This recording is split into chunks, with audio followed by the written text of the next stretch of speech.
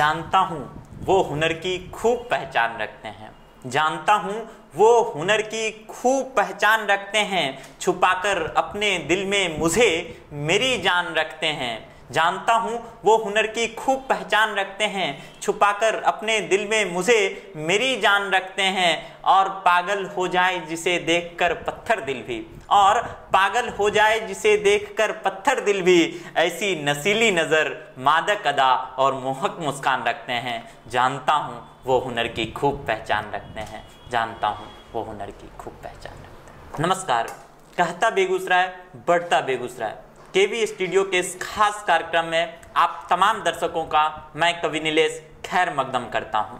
आज केवी स्टूडियो में जो मुख्य अतिथि की भूमिका में हमारे बीच मुखातिब होंगे, वो सुंदरम गांधी जी हैं, जो कि वर्तमान समय में एक अभिनेता भी हैं, कवि भी हैं, शायर भी हैं, गांधी एंटरटेनमेंट के प्रोपराइटर भी हैं और शिक्षा विभाग में बड़ा बाबू के पद पर कार्यरत भी हैं। तो हम स्वागत करते हैं अभिनंदन करते हैं सुंदरम गांधी जी का। नमस्कार सुंदरम गांधी जी। सर सबसे पहले तो मैं जानना चाहूँगा कि इस फ़िल्म के क्षेत्र में आपका आवागमन कैसे हुआ? ये कठिन मार्ग आपने कैसे चुना? एक रोमांचक पहलू है और ये सब एक संजोग है अचानक से हो गया। जो ऐसा था कि बात कि मैं लिखता था आर्टिकल वगैरह अखबारों में छपता था मेरा आर्टिकल। तो मैं उसमें मैं टाउनशिप में रहता था। और उसी में उलाव में एक एक मेरे साथी तो नहीं थे वो साथी बाद में बने। भोला वसंत सर करके एक, एक रहते थे जो कि थिएटर वगैरह से जुड़े हुए थे। वो मेरा आर्टिकल पढ़े उनको अच्छा लगा। बस वो अचानक से मेरे घर पे पहुँच गए प्रपोज़ल। उन्होंने डाला कि आप एक नाटक लिखिए और उन्हें विषय दिया मुझको। मैंने सोचा कि चलो आर्टिकल वगैरह तो लिखते हैं ये नाटक भी लिख के देखते हैं कैसा रहता है। नाटक मैंने लिखा उनको बहुत पसंद आया नाटक। नाटक का शीर्षक था, यह चक्र चलता रहेगा। और मैंने जब लिख दिया, पूरा तैयारी हो गई। उसके बाद रिहर्सल शुरू हुआ, जुबली हॉल में ही, और कल्याण केंद्र में रिहर्सल होता था उस समय। रिहर्सल शुरू हुआ, हम लोग हमेशा जाते थे, रिहर्सल देखते थे। और रिहर्सल होते वक्त मेन स्ट्रीम में कहीं नहीं था एज अ राइटर में था, देखता था। अचानक से क्या हुआ कि दो दिन पहले जो उसे मुख्य भूमिका करने वाले थे अजय विजय दो पात्र थे तो विजय का जो रोल करने वाले थे वो खिसक लिए। पता नहीं किस कारण से खिसक लिए मैं समझ नहीं पाया वो सारी यूनिट परेशान हो गई। हाँ, अब दो दिन बाद उसको शूट होना है जुबली हॉल में और अचानक से चले जाना मुख्य अभिनेता का सारा केंद्र बिंदु वही है सारा चीज़ उन्हीं पे घूम रहा है। तब समस्या आने लगे कि, कि भाई कैसे होगा ये तो बहुत बेजती वाली बात हो जाएगी और पोस्टपोन नहीं होना चाहिए। तो कौन है जो इस रोल को कर सकते हैं? जितने भी लोग थे यूनिट में, सबों ने सरेंडर कर दिया था। क्योंकि सारा डायलॉग बहुत सारा मेन रोल था विजय का। तो मैंने कहा, भोला बसंत सर से कि ऐसा है सर, कि मुझे ही आजमा लें मैं तो डायलॉग वगैरह लिखा हूँ और मुझे एक एक डायलॉग याद है और सूरत शक्ल से ही बहुत ख़राब नहीं लगता हूँ। तो वो पहले देखने लगे हमको। कर लीजिएगा। बोले, क्यों नहीं कर लेंगे? स्कूल वगैरह में तो थिएटर करते ही थे, करने में क्या दिक्कत है? क्योंकि आपने हमको ऑफ़र नहीं किया, हमको हिम्मत नहीं हो रही थी कहने का। देख लीजिए, अब तो कोई विकल्प भी नहीं मैं कर सकता हूँ इसको। उन्होंने कहा, ठीक है। दो दिन मतलब 10 से 6 बजे तक हम लोग लगातार शूटिंग करते रहे और उसके बाद जब हमने परफॉर्मेंस किया, दर्शकों की इतनी तालियाँ बजी डायलॉग्स इतने अच्छे थे उसके और दर्शकों के ऑन डिमांड दोबारा हम लोगों को वो प्ले करना पड़ा। उस दोबारा प्ले में तो और मतलब खड़े होकर दर्शक देखे ये प्रक्रिया शुरू हुई और उसके बाद से हम लोगों का जुगलबंदी हो गया और उन लोगों के उनके सहयोग से मार्गदर्शन से मैं आगे बढ़ता चला सर कहा गया है कि गुरु बिन ज्ञान कहाँ? आप फ़िल्म के क्षेत्र में अपने गुरु अपने मार्गदर्शक का या कह लें कि सब कुछ सिखाने वाले को किन को देखते हैं? वही मैंने बोला ना भोला वसंत सर हैं। वो इत्तेफाकन वो हमसे जुड़े और उन्होंने फिर मेरा मार्गदर्शन किया। उनके गाइडलाइन से हमने फ़िल्म बलमा रसिया भोजपुरी फ़िल्म बनाया। शराबी दुल्हा जो नीतीश सरकार की शराबबंदी पे आधारित है, उसके समर्थन में हम लोगों ने शराबी दुल्हा बनाया।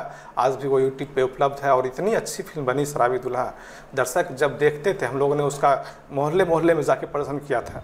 शॉर्ट फ़िल्म थी पैंतालीस मिनट की और दर्शक रोने लगते थे देखते देखते और बहुत अच्छी अभिरक्षक हमारा फ्लोर पर है। एक दिन का शूटिंग बचा हुआ है। हेलमेट हेलमेट पे आधारित रक्षक है। सब में हम लोग साथ निर्माता निदेशक वो रहते हैं।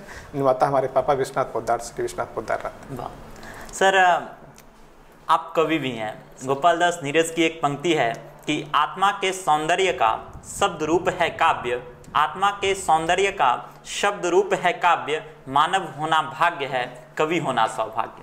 सर एक फ़िल्म अभिनेता, शिक्षा विभाग के अधिकारी का कवि बनने का ये कहाँ से शुरुआत कवि बनने की जो प्रक्रिया है सर, वो मैं बचपन में सिक्स क्लास में था, तब से ही मैं कविता लिखता हूँ सर। और कवि जो है, सो मैं मानता हूँ कि जो प्रेम में पढ़ते हैं, वो शायर बनते हैं, जो असफल होते हैं, वो बहुत महान शायर बनते हैं। तो वहीं से मेरी प्रक्रिया शुरू ही सिक्स क्लास में पढ़ता था मैं। और हमेशा ये इच्छा रहा कि लोग हमको पहचाने, लोग हमको जाने। मैं फ्रंट पे दिखूँ तो उसके लिए कुछ एक्स्ट्रा गुण होना चाहिए था। मैंने कोशिश किया हिंदी विषय मेरा बहुत मज़बूत था और मैंने कोशिश किया और आगे बढ़ता चला गया। सर आपने कहा कि कवि होने के लिए प्रेम का होना बहुत ज़रूरी है। क्या बचपन में आपको कभी प्रेम हुआ है? अभी गिनती नहीं है उसका। कितने आए कितने गए कितने जाएँगे मैं बता नहीं सकता। कविता के क्षेत्र में सर किसी संस्था का योगदान बहुत बड़ा होता है क्योंकि आपको वो बढ़ाने में एक बड़ी भूमिका मिलती है। तो क्या कभी ऐसी संस्था के साथ आपका जुड़ा हुआ है? प्रारंभ में मैं बेगूसराय में प्रगतिशील लेखक संघ से जुड़ा हुआ था। आनंद रामन सर थे और उसके बाद राजेंद्र राजन सर थे वो लोग मेरी कविता को जब स्टेज पर सुने थे मुझे इस लाइन में कविता के क्षेत्र में मैं जिन्हें अपना हक मानता हूँ वो शेखर सावंत सर हैं। 2001 में उन्होंने मुझे मंच प्रदान किया। जब मेरी रचना अखबारों में छपती थी तो एक दिन उनसे मिलना हुआ। उन्होंने कहा, तुम मंच पे जाते हो? मैंने कहा, सर, ऐसा तो मौका नहीं मिला। फिर उन्होंने मौका दिया और लगातार उन्होंने मौका दिया, बहुत सपोर्ट मेरा किया, शेखर सावंत सर। और उसके बाद मैं आगे बढ़ता चला गया। प्रगतिशील लेखक संघ में सदस्य के रूप में जुड़ा रहा। फिर कारवा बढ़ता गया। उसके बाद बेगूसराय में राष्ट्रीय कवि संगम इकाई का गठन होना था। तो राणा जी, जो हमारे जिला महासचिव है, राणा कुमार सिंह, वो जानते थे कि नहीं, सुंदरम भी लिखता पढ़ता है और ये हमसे जुड़ेगा जुड़ सकता है। उन्होंने मुझे ऑफ़र किया कि जिला मीडिया प्रभारी आपको बनाना चाहते हैं। तो मैंने खेल खेल में ही लिया कि चलो देखते हैं इसमें प्रगतिशील लेखक संघ से जुड़े हुए हैं। मैंने उनको कहा कि मैं इनसे जुड़ा हुआ हूँ कोई ऑब्जेक्शन तो नहीं है ना? तो उन्होंने कहा नहीं नहीं। साहित्यिक संस्था में कोई ऑब्जेक्शन नहीं होता किसी को। फिर उन्होंने जिला मीडिया प्रभारी बनाया। और उसके बाद हम लोग का आगे बढ़ते गए। उन्होंने राणा जी का बहुत सपोर्ट रहा बाद के दिनों में। शुरुआत में शेखर सावंत सर ने मेरा सपोर्ट किया और बाद के दिनों में और अभी तक राणा जी हमको बहुत सपोर्ट करते हैं। ना सिर्फ़ उन्होंने जोरा जिला मीडिया प्रभारी से, मगर अपने संगठन में मुझे महत्वपूर्ण भूमिका देते चले गए। मन संचालन के क्षेत्र में ही मुझे उन्होंने ही लाया। विश्वास उनका इतना है कि नहीं, गांधी सुंदरम कर लेगा ये चीज़। बछवाड़ा में एक प्रोग्राम होना था बड़े बड़े कवि आए थे बाहर से। मन संचालन की बात हुई प्रफुल्ल सर किसी कारण से नहीं जा सके, प्रभाकर सर थे हमारे अध्यक्ष जो हैं, उन्होंने राणा जी से कांटेक्ट किया कि प्रफुल्ल सर नहीं आ पा रहे हैं। कौन करेगा मन संचालन इतना बड़ा कार्यक्रम है। तो बोले कि कहा, सुंदरम जी तो हैं आप काहे चिंता कर रहे हैं? तो प्रभाकर जी को विश्वास नहीं हुआ, सुंदरम कर लेंगे, वो एकदम कर लेंगे। तो फिर हमको मौका दिया गया और बहुत शानदार हमारा समारोह रहा, बहुत यादगार रहा। सर कविता के क्षेत्र में क्या क्या उपलब्धियाँ अभी तक आपकी रही हैं? उपलब्धियाँ ऐसी कुछ नहीं है। कोई किताब मैं प्रकाशित नहीं करवा पाया हूँ। और पहले पापा की किताब प्रकाशित करवाऊँगा फिर अपना किताब प्रकाशित करवाऊँगा। और अखबार में छपे हैं पत्रिकाओं में छपे हैं और आप लोग का प्यार स्नेह मिल रहा है बस यही उपलब्धि है। सर हम चाहते हैं कि कुछ पंक्तियाँ आप शायर भी हैं कवि भी हैं तो कुछ पंक्तियाँ गुनगुना दें अपनी तो फिर हम इस वार्तालाप को आगे बढ़ाएँगे। सर अ, तो चार पंक्तियाँ मैंने कल ही आपके के बी स्टूडियो के लिए लिखा है। जब मुझे फ़ोन आया डॉक्टर रोशन सर का आपका कि के बी स्टूडियो में आपका इंटरव्यू साक्षात्कार होना लेना चाहता हूँ। तो मैंने बहुत सोचा फिर से नहीं ये तो अच्छी परंपरा है सर ने बहुत अच्छा काम शुरू किया है। तो मैंने चार पंक्तियाँ जो लिखा है वो मैं रखता हूँ आपके सामने। अंधेरे रास्ते में अंधेरे रास्ते में जो रोशनी के दीप जलाए हैं ना तुमने वाह। अंधेरे रास्ते में जो रोशनी के दीप जलाए हैं तो है ना तुमने? इसे कभी भी अपने दिल से तुम बुझने मत देना। इसे कभी भी तू अपने दिल से तुम बुझने मत देना। कई चेहरे खड़े हैं तुम्हारे इंतज़ार में होकर बेकरार सुन लो। कई चेहरे कई चेहरे खड़े हैं तुम्हारे इंतज़ार में होकर बेकरार सुन लो। उनके गुमनाम पते पर तुम अपना प्यारा सा खत देना। उनके गुमनाम पते पर तुम अपना प्यारा सा खत देना। ये मैंने कल ही लिखा है कि हाँ। के वी स्टूडियो को समर्पित करता हूँ ये पंक्तियाँ और सर एक दो फ़ेमस पंक्ति आपकी हो जाती तो भी अच्छा लगता। और फिर हम इस वार्तालाप को आगे बढ़ाएँ। फ़ेमस पंक्ति मैं चार पंक्तियाँ कहता हूँ। कि कवियों में कुमार विश्वास कवियों में कुमार विश्वास हीरो में शाहरुख खान हूँ मैं। बेगूसराय शान है मेरा बेगूसराय का दिल धड़कन अच्छा सर बेहतरीन। कि जब मैं चलता हूँ तो रुकता नहीं। जब मैं चलता हूँ तो रुकता नहीं हूँ। बाधाओं के आगे मैं कभी झुकता नहीं हूँ और लोग टूट जाते हैं। लोग लोग टूट जाते हैं मुझे तोड़ने की कोशिश में। मैं वह सह हूँ जो कभी टूटता नहीं हूँ मैं वह सह हूँ जो कभी टूटता नहीं हूँ। मैं सूरज हूँ उगता हुआ। कुछ अलग दिखता हुआ मैं सूरज हूँ उगता हुआ। बहुत अच्छा। सर आप सूर्य की बात हुई। तो बेगूसराय की सोंधी मिट्टी दिनकर से प्रफुल्लित है। जी जी।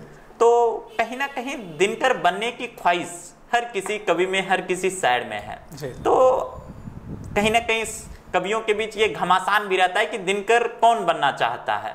तो इस घमासान को आप किस नज़रिए से देखते हैं? ये है मैंने देखा है बेगूसराय में दिनकर को लेके बहुत लोग चाहते हैं कि सभी जितने कवि हैं युवा हों या वरिष्ठ हों सारे लोग समझते हैं कि मैं ही दिनकर हूँ मुझे लोग दिनकर पुकारे और लाइन लगा हुआ है आज के दिनकर कल के दिनकर भविष्य के दिनकर।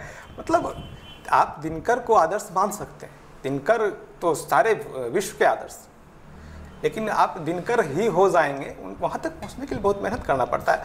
इसी तरह कि आपने जो प्रश्न पूछा एक फेसबुक पे बहस चला था कभी कि दिनकर के संदर्भ में तो मैं भी लिख रहा था जो बहस हमारे कर रहे थे अंतिम में उन्होंने पूछ दिया मुझसे तो आपकी नज़र में दिनकर कौन है? तब मैंने उसी समय जो पंक्तियाँ मेरा आदत रहा है कि कमेंट बॉक्स में ही कटाच कर देता हूँ। तो मैंने पंक्तियाँ लिखा कि ये तो दिनकर बतलाएँगे कौन है उनकी छाया भी।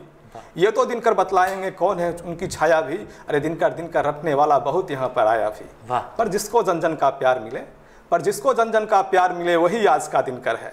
पर जिसको जन जन का प्यार मिले वही आज का दिनकर है। जिसके साहित्य से संस्कार मिले वही आज का दिनकर है। अरे वही आज का दिनकर है। अरे वही आज का दिनकर है जो संस्कृति के साथ चले।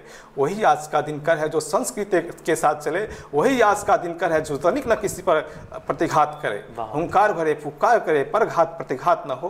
हुंकार भरे फुपकार करे पर घात प्रतिघात न हो। अरे नफरत चाहे जितना कर ले नफरत चाहे जितना कर ले पर झूठा वाला प्यार न हो। बहुत अच्छा। पर झूठा वाला प्यार बहुत अच्छा। सर आप ना बुज़ुर्ग हैं ना पौड कवि में हैं ना युवा कवि में हैं। आप उस उम्र की ढलान पे हैं जहाँ से एक पौड कवि बना जाता है। तो सर प्रौढ़ कवि और युवा कवि के बीच समन्वय किस तरह से स्थापित करना चाहिए? आप इस क्षेत्र को कैसे देखते हैं? समन्वय स्थापित करना साहित्य के क्षेत्र में कहावत आप जानते हैं कि दो मूर्ख आदमी मिल जाएँगे दो बुद्धिमान आदमी का मिलना बहुत मुश्किल होता है। फिर हमारा जो नेचर रहा है कवि लाइन का जो रहा है कि जब भी हम लोगों को मंच पे भेजा जाता है तो एक पंक्ति ज़रूर कही जाती है कि यू आर द बेस्ट आप ये समझें कि आप ही सर्वश्रेष्ठ हैं। और जब ये भावना मन में आ जाती है टकराहट वहीं से शुरू होता है। हालाँकि मेरे मामले में क्या है कि सारे वरिष्ठ कवियों का मुझे सहयोग मिलता रहा है। बेगूसराय के जितने भी वरिष्ठ कवि हैं, शेखर सावंत से मैंने शुरुआत किया, प्रफुल्ल सर हैं, आनंद मिश्रा आनंद मिश्रा कहते राम मौसम सर हैं, और ये आपके आनंद रमन जी हैं, या भी राणा कुमार सिंह जी हैं। तो इन सबों ने मुझे बहुत ही प्यार स्नेह दिया है। और अभी तक ये समस्या मेरे साथ नहीं आई है। और मेरे जो नीचे वाले पायदान पे हैं जैसे आप भी हमारे साथ मन संचालन कर, करते हैं कविता पाठ करते हैं और भी बहुत सारे जो हमारे नीचे के बंदे हैं उनका भी स्नेह मुझे मिलता रहा है भैया भैया सुंदरम भैया तो मैं अपना कर्म करता हूँ फल की चिंता छोड़ देता हूँ। सर उस समय से जब से हम आपके साथ हैं आपके चेहरे पे एक नसीली मुस्कान है। इस मुस्कान का राज क्या है सर? जब मैं फ़िल्म कर रहा था बर्मा रंगसिया की शूटिंग कर रहा था तो उसकी दो पंक्तियाँ मैं रखता हूँ उसके पहले चार पंक्तियाँ रखता हूँ कि कहने वाले कहते हैं सब। कहने वाले कहते हैं सब तस्वीर बदल दो प्रोफ़ाइल की पर मैं नहीं बदल सकता हूँ यारो स्टाइल अपने स्माइल की। बहुत पर मैं नहीं बदल सकता हूँ यारो स्टाइल अपने स्माइल की। और इसी से सम संदर्भ में जुड़ा हुआ परमल रसिया की जब मेरी शूटिंग चल रही थी बेगूसराय में ही शूटिंग हुआ है। हमारे निर्देशक थे नीरज यादव जी। मैं तो मेरा आदत रहा है, विपत्ति ही मुस्कुराते रहता हूँ। कितना ही परेशानी, कठिनाई आती है, हंस के उसका सामना करने की कोशिश करता हूँ। तो शूटिंग के बहुत बहुत परेशानी होती है। खासकर तब जब आप ही प्रोड्यूसर भी हो। पापा प्रोड्यूसर थे, सारी ज़िम्मेदारी मेरे ऊपर थी। तो उन्होंने कहा कि आप कहीं परेशान नहीं दिखते हैं, सवा लाख की तो आपकी मुस्कान है भाई साहब। उन्होंने एक पंक्तियाँ कहा था कि आपकी मुस्कान सवा लाख की है। तब मैंने फिर लिखा कि सवा लाख की तो मेरी मुस्कान है भाई साहब, आग लगा दूँगा। वाह। सर आप अपने से छोटे कवियों को क्या शुभकामनाएँ देना चाहते हैं? कविता बहुत कठिन कर्म है। और छोटे कवि जितने भी नवागंतुक हमारे उभर रहे हैं, बेगूसराय के लिए ये गौरव की बात है, चाहे बहुत सारे कवि हैं, मनीष मोहक हैं, सत्यम भारती हैं, सत्यम कुमार आपके हैं, या मदन मोहन जी हैं, मोदी जी हैं, आप नीलेश जी हैं, आप खुद, और सब लगातार मेहनत कर रहे हैं। सबसे बड़ी बात हम लोगों ने देखा है कि मेरे समय में उतना मंच हमको मुहैया नहीं होता था। राष्ट्रीय कवि संगम के आने से बेगूसराय मंच की कमी युवा कवियों के लिए नहीं रही। हमारा प्रोग्राम हमेशा अभी तो लॉकडाउन की वजह से कुछ स्थगित भी है, नहीं तो महीना में दो प्रोग्राम तो हम लोग करते ही थे और हम लोग युवा कवि को ज़्यादा तरजीह देते हैं, उनको मंच मुहैया कराते हैं ताकि उनमें आत्मविश्वास विकसित हो सके। और ये संदेश है कि मेहनत करें, फल की चिंता न करें और किसी से मन मुटाव या रंजिश या क्या बोलते हैं, प्रतियोगिता की भावना न रखें। खुद निखार आते चला जाए। सर किसी बड़ी ज़िम्मेदारी के लिए परिवार का सहयोग बहुत बड़ी है। आप फ़िल्म अभिनेता भी हैं शायर भी हैं और सरकारी विभाग में नौकरी भी है आपकी। तो इस सब के पीछे परिवार की एक बड़ी भूमिका होती है। तो आपको किस तरह से परिवार का सहयोग मिला है? परिवार का सहयोग शुरुआत में जब माँ थी मैं जो जॉब में आया आज मैं कह देता हूँ जब जॉब में जो मैं आया हूँ मैं उसमें इंटरेस्टेड नहीं था फॉर्म भरने के लिए। छत्तीस सौ रुपया मासिक परिलब्धि पे ये वैकेंसी आई थी कार्यालय सहायक की सर्व शिक्षा अभियान में। और मैं उसमें बीपीएससी की तैयारी कर रहा था। मम्मी शिक्षिका थी, उनको पता था शिक्षा विभाग में एक वैकेंसी आया है और कोई भी गार्जियन होते हैं। जब आप स्नातक कर जाते हैं तो गार्जियन की इच्छा होती है कि जल्दी से इसको नौकरी मिल जाए। तो उन्होंने फॉर्म ज़बरदस्ती भर दिया। फॉर्म ला के मेरे टेबल पर पटक दिया। मैंने कहा, मैं भरूँगा भी नहीं। मुझे ये ये नौकरी नहीं करनी है। मैं बेसिक तैयारी कर रहा हूँ। मैं ये नौकरी क्यों करूँगा? छत्तीस में मैं मासिक लूँगी मैं नहीं, मुझसे नहीं होगा। बहुत जिद करने लगी मम्मी। बहुत सारा हुआ, डांट फटकार, मारपीट। तो हम कौन अंतिम में हम फॉर्म भर दिए। फॉर्म भर दिए और हम जमा भी नहीं करने गए। मम्मी खुद जमा करने गई। उसके बाद परीक्षा का कॉल आ गया, बुलावा आ गया, इंटरव्यू, हमारा परीक्षा हुआ। फिर इंटरव्यू हुआ, फिर प्रैक्टिकल हुआ। मतलब इसको अभी भी हम बीपीएससी कहते हैं, बेगूसराय पब्लिक सर्विस कमीशन इतना संदीप पौंड्रिक उसमें हमारे जिला पदाधिकारी महोदय होते थे। इतना हार्ड टफ एग्ज़ाम था हम लोगों का। बहुत अच्छा रहा। और संजोग देखे कि हमारा सिलेक्शन हो गया। तो ये नौकरी तो मम्मी की देन है। आज मम्मी नहीं है, लेकिन अभी भी कोई पूछता है तो मैं कहता हूँ तो मैं तो बस मम्मी की वजह से नौकरी कर रहा हूँ। नहीं तो पता नहीं बीपीएससी में होता है या नहीं होता, कोई तो जानता नहीं है। और इधर जब मम्मी के जाने के बाद पापा ने फुल सपोर्ट किया मेरा। चार भाई हम हैं। तीन भाई बाहर ही रहते मैं ही यहाँ रहता हूँ। फ़िल्म बनाने में पैसे पैसे तो मेरे पास उतने थे नहीं। पापा ने पहले तो कुछ नहीं किया। वो देख रहे थे कि क्या कर रहा है लड़का। जॉब भी कर रहा है, कहता है फ़िल्म भी बनाएँगे। लिखना पढ़ना तो था ही। मेरा आर्टिकल वगैरह, फ़िल्म वगैरह लिखते ही थे, गीत वगैरह। तो वो पहले देखे। फिर जब उनको लगा, जब कहानी वो पढ़े तो जो हमारे निर्माता हमारे टीम के लोग थे उन्होंने पापा को कहानी कहा पढ़ने के लिए। कहानी पापा को इतनी अच्छी लगी कि सारा गीत वो खुद लिख दिए हैं। फलमा रसिया का जितना गीत है सब मेरे पापा का लिखा हुआ। बहुत शुभकामनाएँ उनको भी। सारा गीत वो खुद लिखे और उसके बाद मुझे सोचना ही नहीं पड़ा पैसा किधर से आ रहा है कहाँ जा रहा है। सारा पापा का देन था और आज भी पापा हमको बहुत सपोर्ट करते हैं और जिनके भी गार्जियन सपोर्ट कर देते हैं उनका ज़िंदगी बस एकदम आसान है। सर शिक्षा विभाग में हैं आप एक सरकारी नौकर हैं, कर्मचारी हैं और कवि हैं और हमेशा कहीं ना कहीं दोनों के बीच टकराव होता है। तो क्या कभी सरकार या बड़े पदाधिकारी से आपका टकराव हुआ है? नहीं, सपोर्ट मिला है विभाग का भी। लोग जान रहे हैं जो पदाधिकारी भी आते हैं, वो भी कहते हैं, अरे यार, तुम यहाँ भी हो वहाँ भी हो क्या क्या करते हो तुम? सब जगह तुम छाए रहते हो प्रचलित रहते हो। तो सपोर्ट विभाग का भी है। साहित्य लाइन में जब मुझे आवश्यकता होती है मैं छुट्टी ले लेता हूँ और छुट्टी मुझे आराम से मिल जाता है। सारे पदाधिकारी जो पहले के पदाधिकारी थे उन लोग भी पूरा सपोर्ट करते थे। आज भी जो पदाधिकारी आए हैं उनका ही फुल सपोर्ट मिला। सर के वी स्टूडियो के लिए आप क्या शुभकामना देना चाहेंगे? के वी स्टूडियो के लिए मैं यही कहना चाहूँगा कि भविष्य में एक कवि सम्मेलन अगर आयोजित हो सके तो उसको किया जाए। और चार पंक्तियाँ पुनः मैं के वी स्टूडियो के रखता हूँ।